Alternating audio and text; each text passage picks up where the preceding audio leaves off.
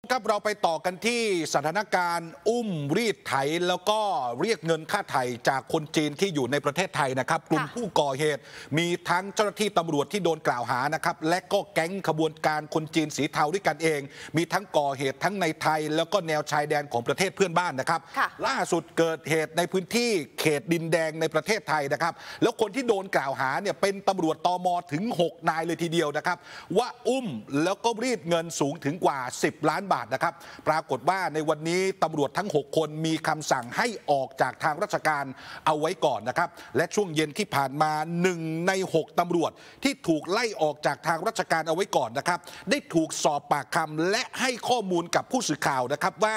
ไม่เคยเรียกรับเงินแม้แต่บาทเดียวนะครับตำรวจคนนี้บอกว่าตอนนี้ผมไม่มีอะไรอยากจะชี้แจง แต่ยืนยันว่าไม่ได้ทำตามที่กล่าวหา แต่ยอมรับนะว่าตนเองเนี่ยเป็นหนึ่งในชุดที่เข้าจับกลุ่ม โดยในวันดังกล่าวได้รับแจ้งว่ามีชายชาวจีนอยู่ในราชอาณาจักร เกินกว่าที่กฎหมายกำหนด หรือที่เรียกว่า overstay แต่เมื่อตรวจสอบแล้วพบว่าชาวจีนมีบัตรประชาชนคนไทย จึงไม่ดำเนินคดี แล้วก็ปล่อยตัวไป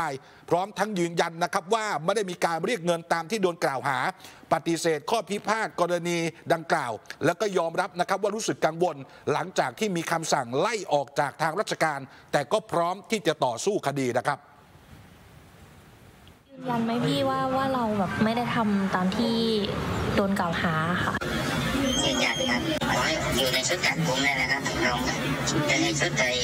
ชุดตรวจสอบไปเลยว่าเหมือนได้รับแจ้งว่ามีชายชาวนี้ก็เลยไปอะค่ะ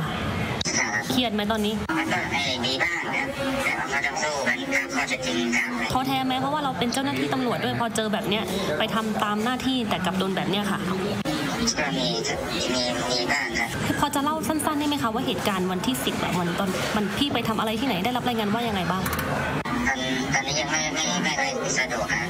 บอกว่าได้รับรายงานชายชาวจีนทำผิดกฎหมายตอนนั้นนะคือคือคือเรื่องบัตรประชาชนเหรอคะหรือว่ามันมีเรื่องอื่นเรื่องอะไรด้วยไหมคะ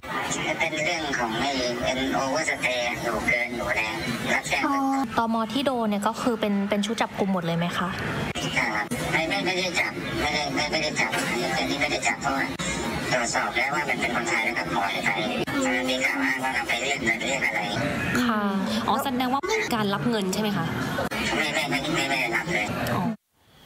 นี่ฮะคือข้อมูลจากตำรวจชุบจับกลุ่มเนี่ยก็จะสวนทางกับพลตำรวจเอกสุรเชษฐ์หักพาลรองผบตรนะครับ บอกว่าตอนนี้อยู่ในระหว่างการพิจารณาออกหมายจับตำรวจ 4 คน ก็จะมีสารวัตรสืบสวนบกตม1จำนวน 2 คน แล้วก็ตมอีก 2 นายนะครับ ซึ่งในระหว่างนี้จะขยายผลเพิ่มเติม เพื่อหาผู้ที่เกี่ยวข้องรวมไปถึงคนไทย ที่ชี้เป้าให้กับกลุ่มตำรวจเหล่านี้ไปรีดไถเงิน ส่วนสาเหตุทำไมต้องเป็นชาวจีนคนนี้ เพราะชายชาวจีนคนดังกล่าวเป็นบุคคลที่มีเงินเยอะครับ แล้วก็แอบหลบหนีมาอาศัยอยู่ในราชอาณาจักรไทยแบบผิดกฎหมาย ดังนั้นตำรวจที่ปฏิบัติหน้าที่จะต้องเข้าไปจับกลุ่มไม่ใช่ไปรีดไถทรัพย์สินนะครับ ส่วนชายชาวจีนได้ออกนอกประเทศไปแล้ว แต่ก็ยังมีเพื่อนอยู่ในประเทศไทยของเรา ซึ่งก็ต้องเชิญตัวมาให้ปากคำตรงตามที่ตมได้กล่าวอ้างหรือไม่นะครับ ค่ะ